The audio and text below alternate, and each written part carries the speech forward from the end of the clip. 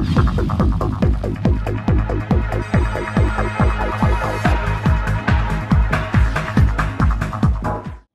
morning, viewers. Welcome to fourth edition of Weekly Benefit. Your regular speaker, Evangelist Chris Ogbaisi of CCC Omo Alade Alafia. I've come to talk to you about living in peace with mankind. It's very simple, and that's what I want you to have as a watchword this week. Tolerance. It sounds very, very simple, but it's very strong. You know, tolerance is different from forgiveness. If you liken tolerance to forgiveness, then which means we are making a lot of mistakes there, and that's what a lot of people do.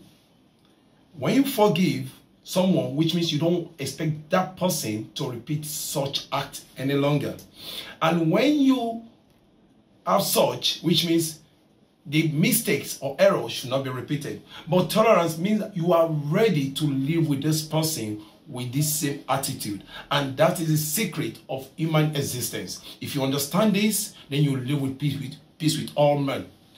Tolerance simply means that you are ready to con just look at your gate man, your megad.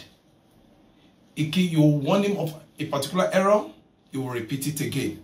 You will repeat same again. Shows that you are ready to tolerate it because you want to move on. When you tolerate, it makes you to see above human error.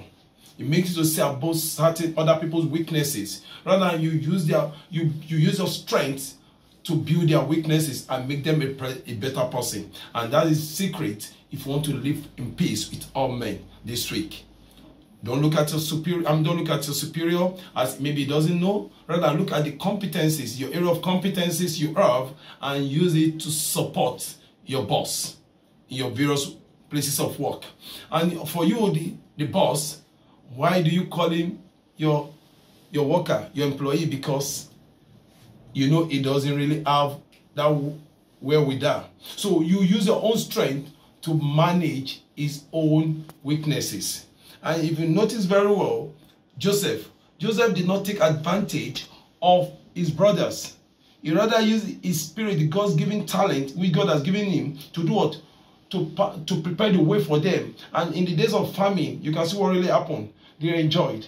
And that is the same way I want to tell you the secret for your existence now, forever, in order you don't have any problem, is to learn to tolerate one another. And this week, I, I pray the Holy Spirit to come into your life, direct you, allow you to be able to tolerate things that you've not been tolerating before, to be able to accept things in line with his, your wisdom, to give you that spirit of humility to guide your steps aright. And as you move on this week, I know the wisdom will be there for you. You will not cross paths wrongly, negatively in your activities. Thank you and do have a great week.